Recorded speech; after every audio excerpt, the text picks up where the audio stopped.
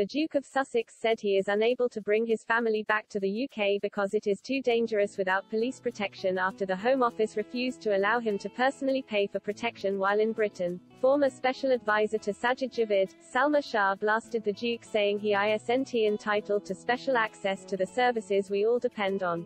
Ms. Shah said, the utter nonsense that circulates about Brand Sussex is dizzying. There is no deep state conspiracy against the sixth in line to the throne. There seems to be a straightforward principle here, as far as the state is concerned he is no longer relevant, having chosen to step back from his official duties. That is the brutality of public life, and how constitutional monarchies work. 13 to 0 calls for people to have say on Duke and Duchess titles. Ministers have been hearing that people across the UK should have a say in whether dukes and duchesses can take the names of places in their area. Labour MP Rachael Maskell, York Central, called for a debate into how aristocratic titles that take their name from a geographical location are assigned, having previously said that Andrew's title as Duke of York is untenable. During questions for Commons leader Jacob Rees-Mogg, Ms. Maskell called for a debate on whether the future of his title as Duke of York should be determined by local people.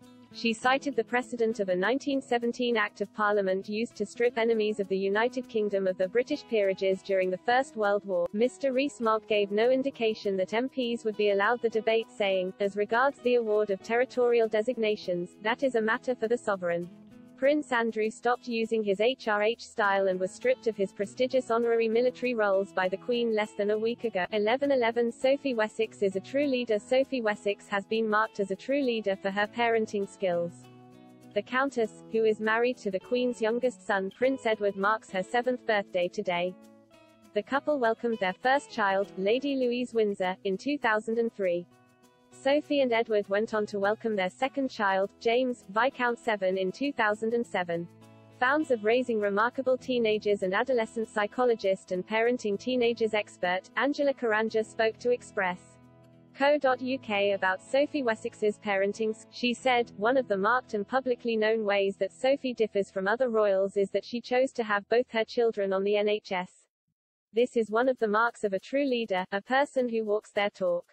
How would anyone know if the NHS works and its conditions if you've never experienced it? Read more. 1039 Could Harry speak out publicly about police row? Prince Harry said he is unable to bring his family back to the UK because it is too dangerous without police protection.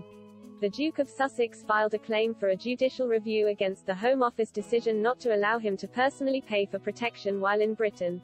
Royal author Angela Levin said she thinks Harry will speak out about the row in an interview adding he won't keep that quiet. She added, it's another reason for him to show he wasn't respected. The royal couple personally funds a private protection team in the US for their family. Read more here. 1004 Queen honors Sophie Wessex birthday The Queen has publicly marked the birthday of Sophie, Countess of Wessex who turns 7 today. The royal family Twitter account, which represents the nine-year-old monarch and all working royals who don't have their own social media handle, published a message. It also includes an adorable picture of the Countess holding a puppy taken in November last year on a visit to the Guide Dogs National Centre in Leamington Spa. Sophie has a long-standing commitment to supporting people suffering from vision impairment and fighting avoidable blindness. 942 Could the Masked Singer contestant be one of the royals' favorite pop stars? One of the royal family's favorite pop stars has been hinted as a contestant on The Masked Singer. Eagle Eyes viewers believe Panda could be unveiled as Ellie Goulding in the coming weeks. Panda admitted they were a solitary creature and an introverted extrovert. Sharing their suggestion, the Masked Singer fan at Thomas underscore Matthew J tweeted, Could Panda be Ellie Goulding? Hashtag Masked Singer UK. Ellie Goulding performed at the wedding of the Duke and Duchess of Sussex in 2011. Read more here. Hours ago 08, 2 Prince Andrew braces as nightclub witness prepared to give evidence Prince Andrew is braced as a woman who claims she saw Prince Andrew with his accused in a London nightclub is prepared to give evidence against him in the civil sexual assault case. Shukri Walker alleges she was in Tramp nightclub in 2001 and saw the Duke of York with Virginia Giuffre and his friend Ghislaine Maxwell. Ms. Giuffre's legal team has already made requests for witness accounts from a number of individuals including Ms. Walker. Ms. Giuffre is suing the Duke in the U.S. for allegedly sexually assaulting her when she was a teenager and claims she was trafficked by convicted sex offender Epstein to have sex with the royal when she was 17 and a minor under U.S. law. Andrew has strenuously denied the allegations. Read more here. Hours ago 819 Happy birthday to Sophie, Countess of Wessex Sophie, Countess of Wessex celebrates her seventh birthday today. The royal is often said to be one of the Queen's closest family members. Sophie married the Queen's youngest son, Edwards, the Earl of Wessex in 1999 and have two children together, James, Viscount Severn, 14 and Lady Louise Windsor, 18. Express.co.uk spoke to Inbal Honigman, a mystic and astrologer about the Countess' personality traits as an Aquarius. The expert said, this is a very enigmatic sign, creative and humanitarian.